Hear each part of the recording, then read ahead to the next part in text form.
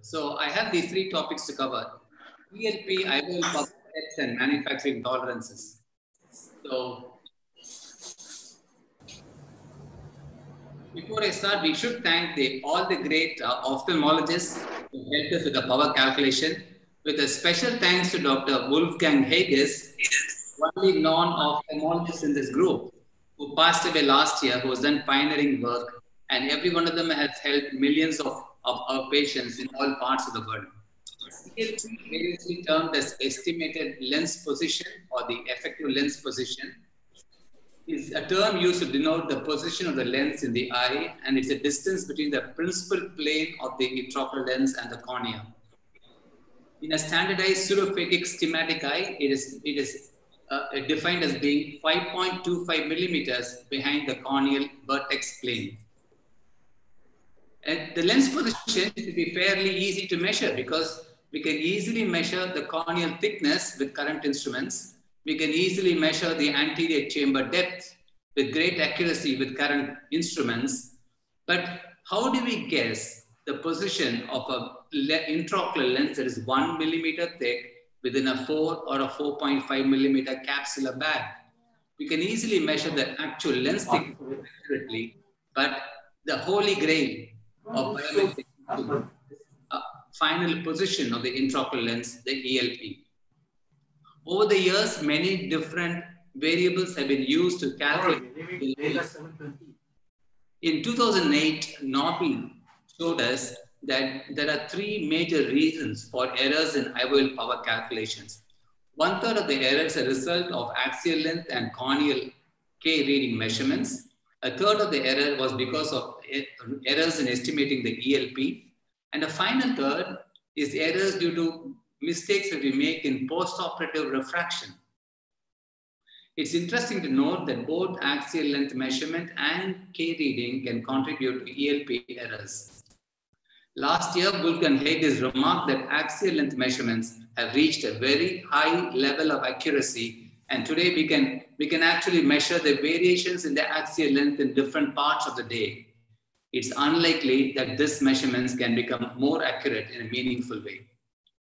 For any given position of a lens in the eye, the actual power depends on the lens diopter, the lens thickness, the shape factor of the lens, whether it is a meniscus lens, a planar convex lens, a biconvex lens, and finally and most importantly, the corneal power, we know that the corneal power is an approximation. Here is just my posterior corneal measurement in 3 millimeter, 5 millimeter, and 7 millimeter uh, uh, uh, rings. And you can see the wide variation in both magnitude and axis of in any given eye. All those are not dependent on us, but we have three major surgically induced factors which will affect surgeon-induced dependent factors that will affect ELP. And the most important of these is the rhexis overlap. We should aim for a 0.5 to 0.7 millimeter 360 degree overlap of our intraocular lenses. Severe capsular phimosis like this can alter ELP, as can a large rhexis like this. This can permit the intraocular optic of this three-piece lens to move out of the bag, move forward and change the ELP. The second factor, which is in the surgeon's hand, is your choice, whether you choose to put a three-piece lens or a single-piece lens. A three-piece lens has got haptics that's angulated anteriorly. In the post-op period, as the capsule shrink wraps and, and it compresses the haptics, the optic can move forward in three-piece lenses. With a planar single-piece lens, this problem does not exist. And again, if you choose to put an intraocular lens with an anterior offset, as against a planar design, your, your results can vary. Now, let us see what happens when I move this plus 20 diopter lens in a lensometer by about two centimeters. So what happens is the power of the lens of this 20D lens can vary from 20 to 24.75 diopters. Similarly, inside the eye, when our intraocular lens moves inside the eye, Olsen taught us in 2007 that minor variations can cause changes. Look at this 0.25 millimeter and a movement of a lens inside the eye. This is half the thickness of the cornea. If the intraocular lens moves 0.25 millimeters in an average eye of around 22, uh, from 22 mm in length, we can get a post-op error of up to 0.4 diopters. In a myopic eye, the same movement will cause much less of a difference, while in a hyperopic eye, in a small eye with a, with a 20 millimeter axial length, the difference can be as high as 0.5 to 0.6 diopter for a small 250 micron anterior shift of the intraocular lens. The lens material and the haptic design can also affect the effective lens position. This interesting article by Laura Raymond et al. showed how the intraocular lens optic can move forward when the haptics are compressed by as little as one millimeter by capsular fibrosis. In this set, you can see that there are uh, C-shaped loop lenses on the left and plate haptic lenses on the right. And this is very easy to see. When you have a one millimeter compression, there is no or very, very minimal change in ELP when you have a C-looped intraocular lens, while the same one millimeter compression of the haptics can cause quite dramatic one millimeter or more anterior displacement of the optic if you choose to use a plate haptic intraocular lens. So plate haptic intraocular lenses have to be made very rigid to resist these kind of movements.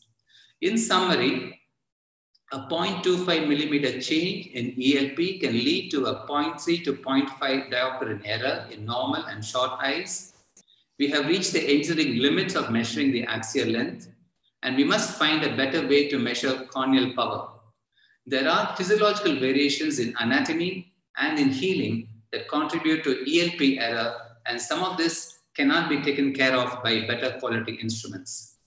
My next topic is on IOL power tolerances. It's interesting that all our lenses are made as per ISO standards which were defined in, in 1999. And what do these standards say? For the usual lens that we use with a power between 15 and 25 diopters, they permit a 0.4 diopter of error and they, and they pass them. This is the actual FDA approval for a multifocal lens, which was approved in 2014. This particular lens is widely being used in various parts of the world. And here we can see the optical requirements and the FDA has passed it. And here we can see that they have used the same criteria, 15 to 25 diopter. They have tested to see whether the spherical equivalent of this multifocal lens was within 0.4 diopter and they have passed this lot of lenses we are using these kind of lenses. The ANSI standards for toric lenses are very similar. They specify that the ivoid spherical and cylindrical combined error should be within 0.3 to 0.5 diopter. Also, that the axis should be marked within 5 degrees of the actual orthogonal cylinder of that intraocular lens. And the rotational stability should be within 5 degrees for 90% of the intraocular lens over a three month period. Several companies that offer intraocular lenses in India were asked about their manufacturing tolerances. None of them are willing to share the data for this presentation. I think this information is quite inform important to us and I request AIOS to formally request this data. What is the uh, tolerance that they apply? Is it as per ISO standard or do they have tighter tolerances in the lenses which they supply to us? So what is the true power of a lens when it is marked plus 20D? In 1996, Savakanopi et al. Uh, uh, determined the power differences when the, uh, a lot of lenses were, were measured in different labs. And they found that less than 1% of the dioptric power was the average difference between various labs. What this means is, what this means is the same lens can be measured at different labs and they can give a error which can be up to 0.2 diopter for a 20 diopter lens. Kenneth Hoffer used the US FDA optical testing lab using a more advanced confocal laser method to find out what, we, what is the variation of exact power labeled intraocular lenses. And he found something very similar. When, he, when a company marked the power, exact power on those lenses, this was a company which supplied lenses from Europe. And he found that the error was 0.18 with a standard deviation of 0.12. So though they were marked with the exact power, the actual power could vary by 0.2 or 0.3 diopters from what is stated on, on the label. He also found that in these hydrophilic lenses, when the temperature was raised from 22 to 23 degrees, the actual power increased by 0.13 diopter. So there seems to be a wide variation between different labs and, and what is in the lens and what is marked on the box. And I'm sure more work can be done on this. The last part of my topic is on IOL power steps. We all are aware that we get the power steps in 0.5 diopters in the, the usual ranges. And in extreme powers, they're, there, they're available in steps of one diopter. Toric lenses are usually available between 1.5 and 6 diopter in 0.75 steps. A small group of vocal surgeons believe that we should get intraocular lenses in 0.25 steps, and this will make our results more accurate.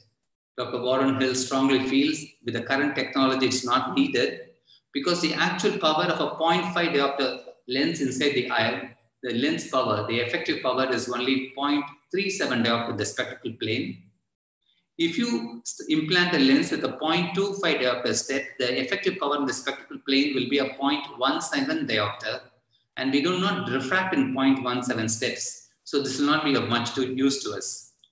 In 2005, Technomed, a German company, started using the exact labeling method. And, and we know that Lenstec HD is also supplying hydrophilic lenses, and they claim to have a manufacturing tolerance of 0.1D.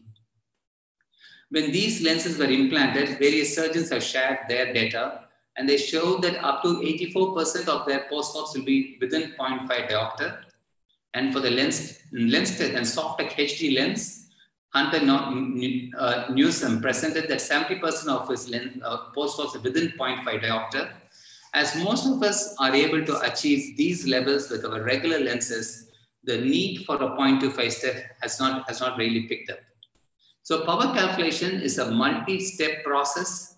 The weakest link currently is not measurement of the corneal thickness, the anterior chamber depth, the lens thickness, or the axial length. We're able to get very accurate uh, uh, measurements of these.